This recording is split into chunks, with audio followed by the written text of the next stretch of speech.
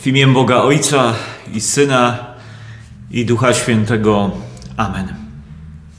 Drodzy, witam Was bardzo wszystkich serdecznie w poniedziałek 29 stycznia. Witam i pozdrawiam z parafii z ewangelickiej z Nowego Sącza. Drodzy, Bóg każdego dnia chce ubogacać nas swoim słowem przypominać nam to wszystko, co jest dla nas ważne, kiedy mówimy i kiedy chcemy spotkać się z naszym Stwórcą, nie tylko poprzez słowo, nie tylko przez modlitwę, ale także każdego dnia, przez to, że możemy odczuwać Jego ojcowską rękę, która nas prowadzi, strzeże i nas błogosławi. Drodzy, i to dzisiejsze słowo, które kieruje do nas książeczka z Biblią na co dzień, właśnie ma taki wymiar przypominający i mówiący nam o tym, że Bóg jest z nami wszędzie. Wszędzie, dokądkolwiek nas pośle, On jest tym, który nas strzeże i błogosławi. Dwa teksty ze Starego i Nowego Testamentu z pierwszej Księgi Królewskiej, z ósmego rozdziału, 60 wiersza. Oby poznały wszystkie ludy ziemi, że Pan jest Bogiem i nie ma innego. Ewangelista Mateusz w 28 rozdziale, 19 wierszu i 20 tak pisze. Idźcie tedy i czyńcie uczniami wszystkie narody, chrzcząc je w imię Ojca i Syna i Ducha Świętego, ucząc je przestrzegać wszystkiego, co Wam przykazałem. Drodzy, te dwa teksty mają dla nas, myślę, nie tylko dzisiaj, ale każdego dnia ogromne znaczenie. Przede wszystkim to, że jesteśmy chrześcijanami. Chrześcijanami, wyznawcami jednego Boga. Boga, który chce przypomnieć nam o tym, że tylko On jest Bogiem i nie ma innego. Innego, wspanialszego, troskliwego Ojca, który daje wyraz temu, że jest każdego dnia z nami. Drodzy, lud izraelski mógł o tym przekonać się każdego dnia, kiedy był z Bogiem, ale przede wszystkim wtedy, kiedy myślał, że to Boże oblicze jest od nich odwrócone.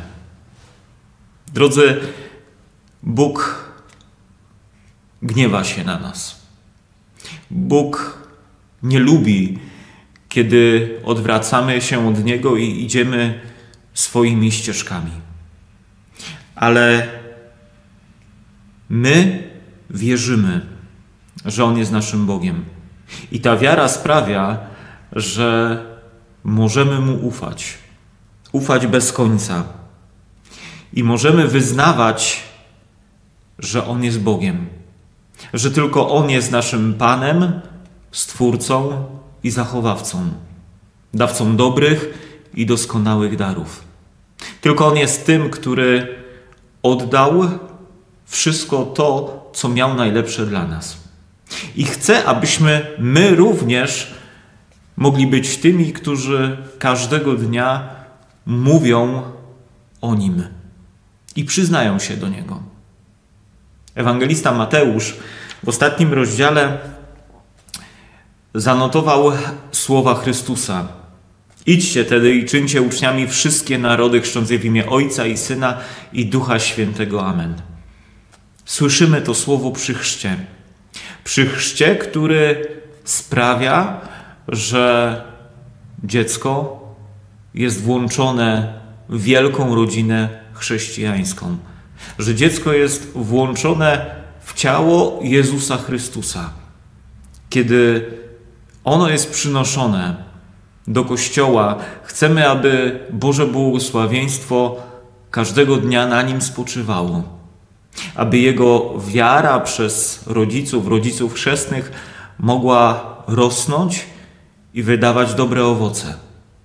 Aby on również, kiedy dorośnie, mógł świadczyć i mówić o tym, że Pan jest Bogiem i nie ma innego. Drodzy, dzisiaj wiemy, że każdego dnia ten moment chrztu jest nam bardzo potrzebny. Bo nie tylko tego chrztu dziecka, ale przede wszystkim tego, aby Bóg był z nami, aby mogliśmy doświadczać Jego zbawiennej łaski, miłosierdzia, które jest bez granic, abyśmy każdego dnia mogli odczuwać to, że się o nas troszczy.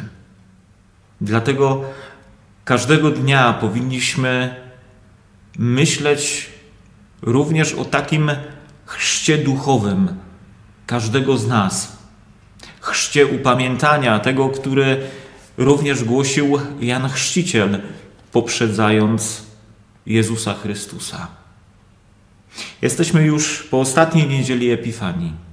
Będziemy za niedługo wkraczali w czas przedpasyjny i za niedługo będziemy mówili o tym, co Jezus Chrystus zrobił dla nas. Dlatego, drodzy, chciejmy oddać Mu cześć, dziękczynienie za to wszystko, co On dla nas zrobił. I otwórzmy nasze serca, aby ta wiadomość o tym również do nas trafiła. My również potrzebujemy chrztu, a także przebudzenia. Potrzebujemy tego, aby Bóg nas użył do tego, abyśmy każdego dnia mogli mówić, że On jest naszym Bogiem. Posłuchajcie.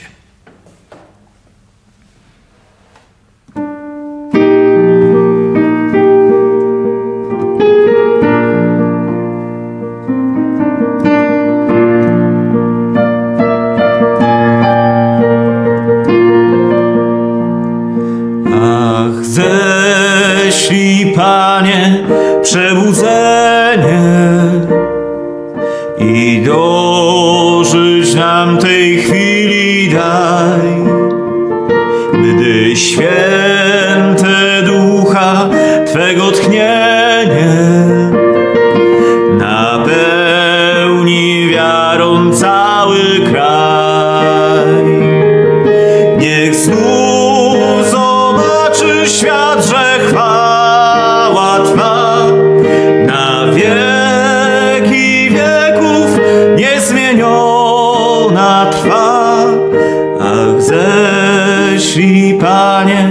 przebudzenie na kraj, nasz kraj.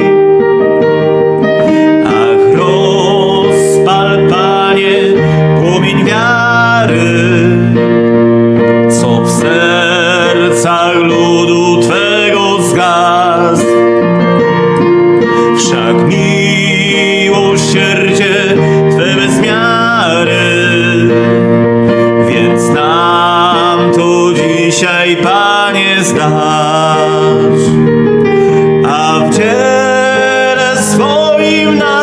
Jesús.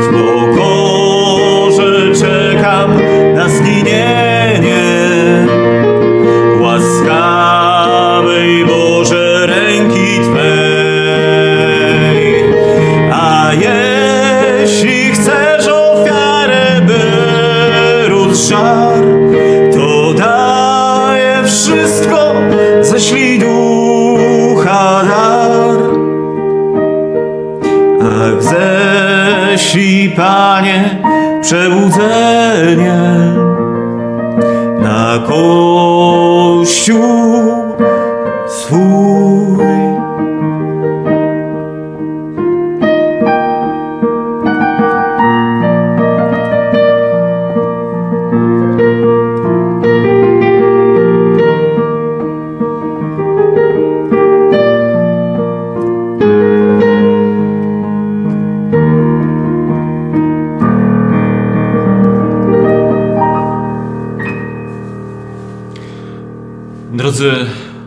życzę Wam, aby dzisiejszego dnia i rano, w południe albo wieczorem, doświadczyliśmy tej mocy Ducha Świętego, który niechaj przeobraża nasze serca, abyśmy mogli z wdzięcznością Bogu każdego dnia dać wyraz tego, że jesteśmy z Nim że Mu ufamy.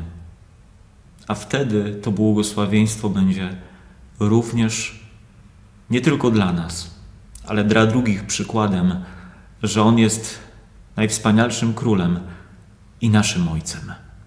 Amen. Wszystkiego dobrego, błogosławionego dnia.